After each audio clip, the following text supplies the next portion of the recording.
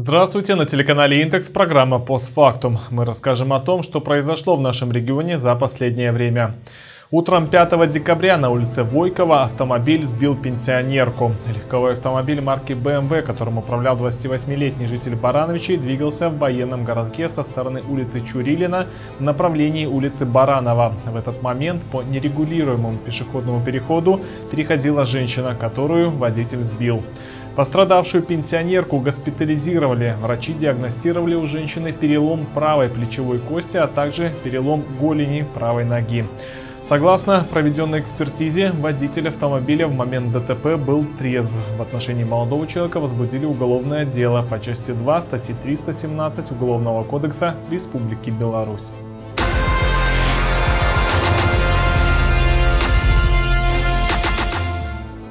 Еще одно дорожно-транспортное происшествие с участием пешехода произошло вечером 9 декабря. На этот раз пешехода сбил автомобиль милиции. ДТП произошло в микрорайоне Северный, недалеко от Ледового дворца. Мужчина переходил дорогу по пешеходному переходу. В это время мимо проезжал спецавтомобиль милиции, который его сбил. По словам свидетелей, во время ДТП пешеход получил травмы, с которыми его доставили в больницу. В Барановичском районе на дорогу перед легковым автомобилем выбежала косуля. Избежать столкновения не удалось.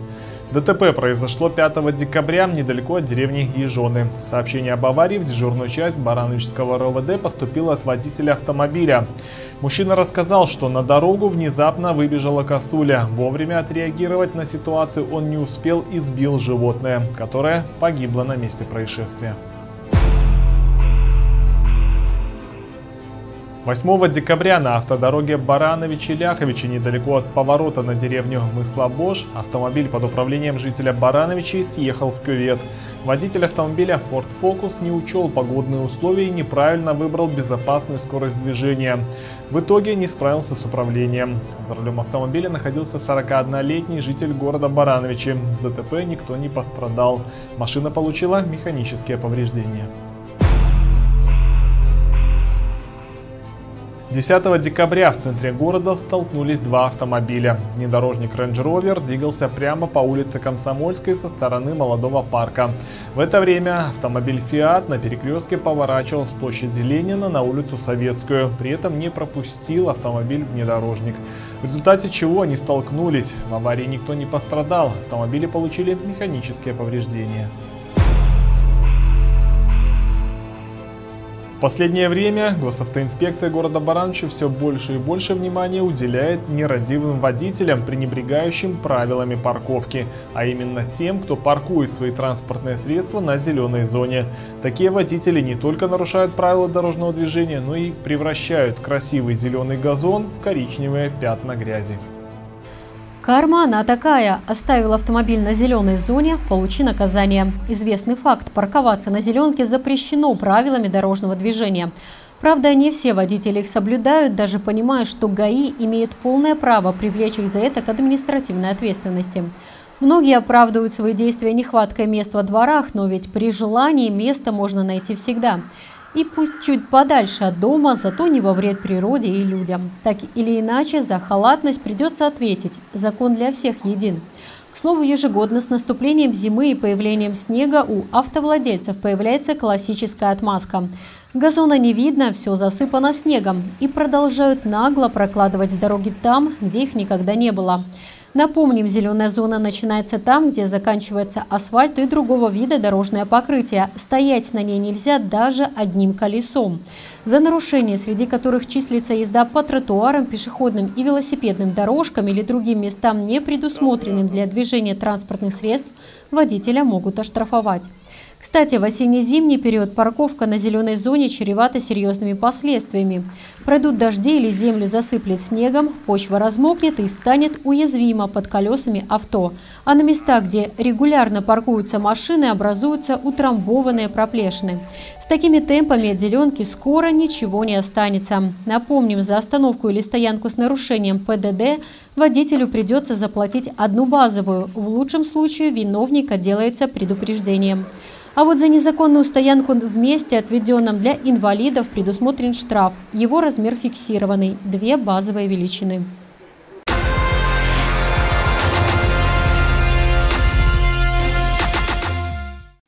Баранежском районе перевернулся вагон товарного поезда. Инцидент произошел 6 декабря на подъездных путях ДСУ-22 вблизи железнодорожной станции Грицевец.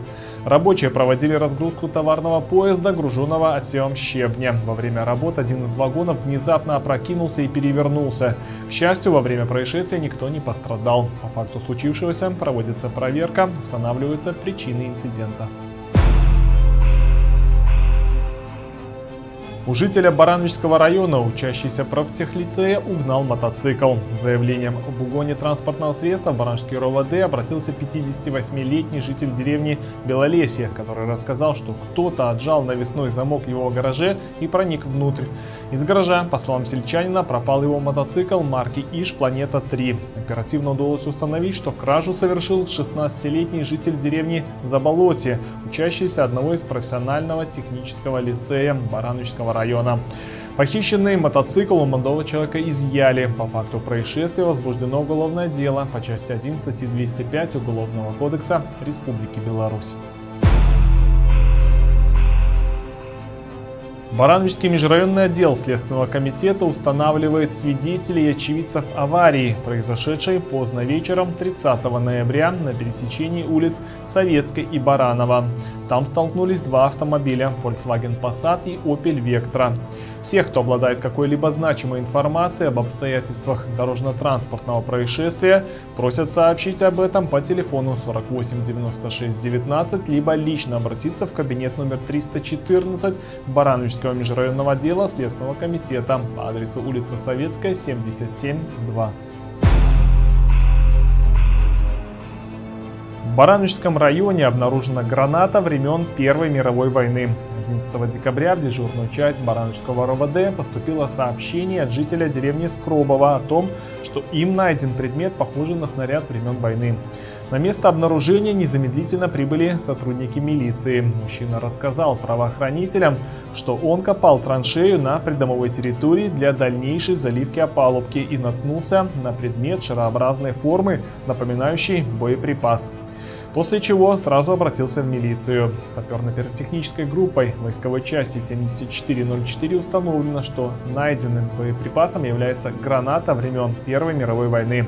В настоящее время находка изъята и уничтожена на специальном полигоне. 10 декабря произошел пожар в квартире пятиэтажного жилого дома по улице Промышленной. Из квартиры на втором этаже шел дым. Звеном газодымозащитной службы на полу в жилой комнате квартиры в бессознательном состоянии обнаружен и спасен хозяин, пенсионер 1952 года рождения. С предварительным диагнозом отравления продуктами горения, алкогольная интоксикация, спасенный госпитализирован. Пожар локализован и ликвидирован. Огнем повреждены постель постельные принадлежности, внутренняя отделка жилой комнаты, закопчены стены и потолок в квартире. Причина пожара устанавливается. Ну а следующий инцидент, к сожалению, без жертв не обошелся. Молодой мужчина погиб на пожаре в Ляховичском районе. 8 декабря произошел пожар в квартире на втором этаже восьмиквартирного жилого дома в агрогородке Малое Городище. К моменту прибытия подразделения МЧС к месту пожара в подъезде дома было плотное задымление. В кухне квартиры, в которой произошел пожар, звеном газодымозащитной службы был обнаружен погибший хозяин 1973 года рождения. Работниками МЧС первого и второго этажей эвакуировано 4 человека, в том числе двое детей. В нем уничтожены кровать, матрас, постельные принадлежности, повреждены внутренняя отделка, имущество в кухне и коридоре горевшей квартиры. Причина пожара устанавливается. Это все, что мы хотели рассказать. Оставайтесь с нами и берегите себя.